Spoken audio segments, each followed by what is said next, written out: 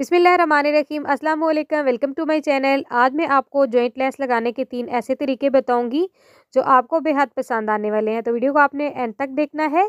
सबसे पहले मैं आपको सीढ़ी लेस लगाना बताऊँगी। यहाँ पिक्चर पे मैं मेंशन कर रही हूँ, अगर हम सिंपल सीढ़ी लेस लगा लें तो धुलाई के बाद इस तरह के धागे निकल आते हैं। अब ये वाला जो मेथड आपको मैं बताऊँगी, ये आपका मसला सॉल्व हो जाएगा।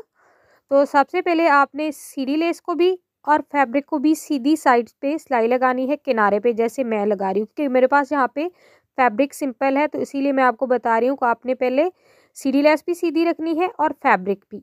ऐसे सिलाई लगानी है, अगर कोई धागे वगैरह हुई है एक्स्ट्रा तो उनको कट करना है, फिर आपने इसको ऐसे उल्टी साइड पे फोल्ड करना है। अब सीढ़ी लेस के किनारे पे सिलाई लगानी है, जितना भी एक्स्ट्रा फैब्रिक है वो अंदर की साइड फोल्ड करके सिलाई लगानी है, जैसे हम नॉर्मल लगा देते हैं मगर इसमें क्या होगा, सिर्फ़ आपने एक सिलाई ज़्यादा लगानी होगी, उसके बाद आपकी सीरी लेस फिनिशिंग के साथ आएगी। तो ऐसे आप देखें मैंने सिलाई लगाई है तो यहाँ से कोई भी अब एक्स्ट्रा धागे नहीं निकलेंगे।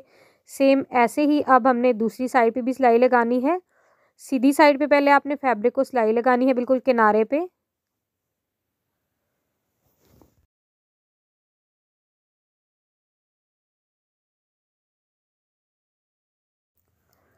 ऐसे सीधी साइड पे किनारे पे सिलाई लगाई है। पहले भी मैंने आपको बताया, यहाँ सीधी साइड पे सिलाई लगाने के बाद अगर कोई एक्स्ट्रा धागे वगैरह हो ना तो पहले उनको आपने कट कर लेना है। उसके बाद आपने उल्टी साइड पे ऐसे सिलाई लगानी है, ताकि ये वाली सिलाई फिनिशिंग के साथ आए। ऐसे किनारे पे मैंने सिलाई कंप्लीट कर ली है तो साइड से आप देखें, जितने भी एक्स्ट्रा धागे वगैरह थे, वो सारे कवर हो गए हैं।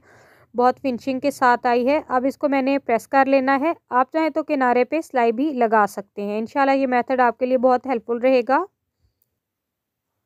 अब यहाँ पे सेकंड में आपको ये जॉइंट लेस लगाना बताऊँगी। ये वाली लेस हम ट्राउज़र पे, दामन पे या स्लीव पे यूज़ करते हैं।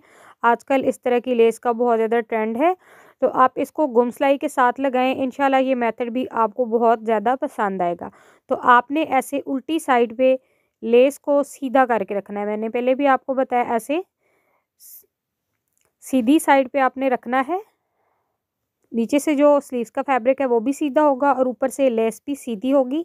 तो किनारे पे सेम जैसे हमने सीधी लेस के किनारे पे सिलाई लगाई है, इसको भी हमने किनारे पे सिलाई लगानी है।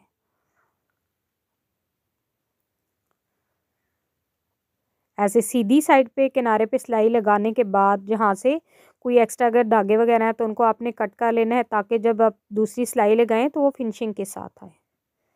ऐसे कट करने के बाद अब फोल्ड करना है इसको मैंने ऐसे तकरीबन जितना हम फैब्रिक अंदर की साइड फोल्ड करते हैं उस हिसाब से फोल्ड करके किनारे पे।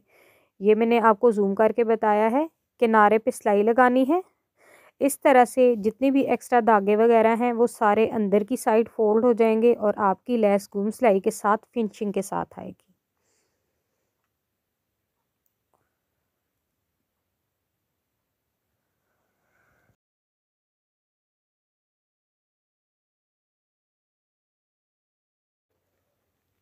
इस मेथड के साथ अगर आप सिलाई लगाएँगे तो आपकी सिलाई इस तरह से फिनिशिंग के साथ आएगी और यहाँ से कोई भी धागा वगैरह नहीं निकलेगा।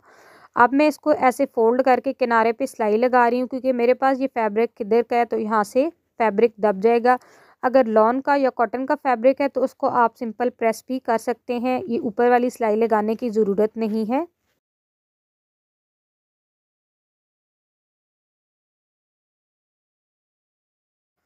ऐसे एक साइड पे मैंने ये सिलाई लगा ली है, लेस बहुत फिनिशिंग के साथ आई है।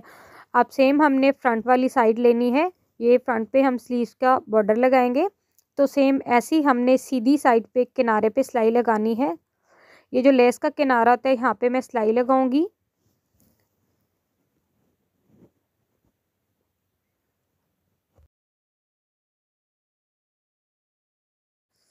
ऐसे ये सिलाई लगाने के बाद अब सेम वैसे ही मैं कोई एक्स्ट्रा धागे वगैरह हैं तो उनको कट करूँगी।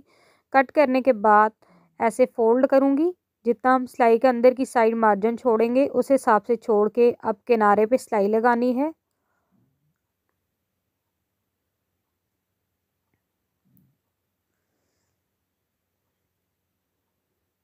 ऐसे ही अंदर की साइड सिलाई लगाने के बाद अब मैं बाहर वाली साइड पे ऊपर वाली जो साइड है किनारे पे यहाँ पे सिलाई लगाऊँगी।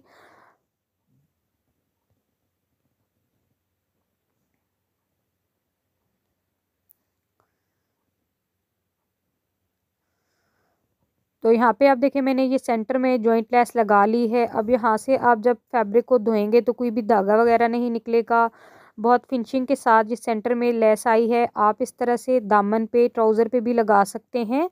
अभी तक मैंने इसको प्रेस भी नहीं किया, फिर भी आप देखें ये लेस कितनी फिनिशिंग के साथ आई है। तो इनशाला ये मेथड भी आपके लिए बहुत ज़्यादा हेल्पफुल रहेगा।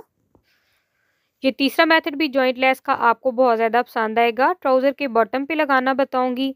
सेंटर में मैंने चार पिंटिक्स डाल के, डेढ़ डेढ़ इंच का गैप छोड़ के दोनों साइड पे इस्त्री की मदद से निशान बना लिया है। अब यहाँ से आपको कट लगाने की ज़रूरत नहीं है। सिंपल आप जैसे मैं लगाऊँगी, इस मेथड के साथ आप जॉइंट लेस लगा सकते हैं। ऐसे ये वाले जो मैंने निशान लगाए हैं, इनको फॉलो करते पहले ऐसे ऊपर की साइड मैंने रख के सीढ़ी लेस के दोनों किनारों पे सिलाई लगानी है। ये जो किनारे होते हैं सिलाई वाले, इनको फॉलो करते हमने सिलाई लगानी है।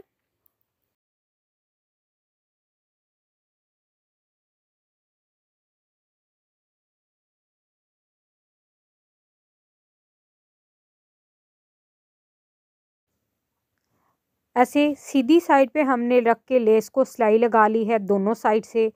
अब ऐसे हमने फैब्रिक को उल्टा करना है और ऐसे फोल्ड करना है।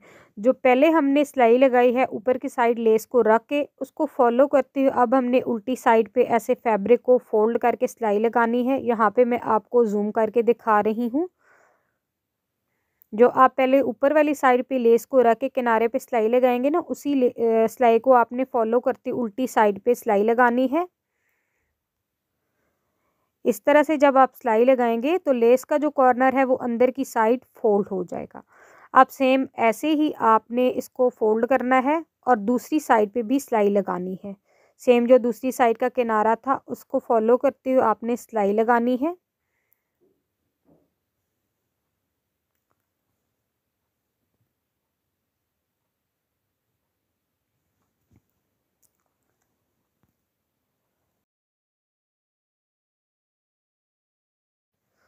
दोनों साइड पे मैंने सिलाई लगा ली है।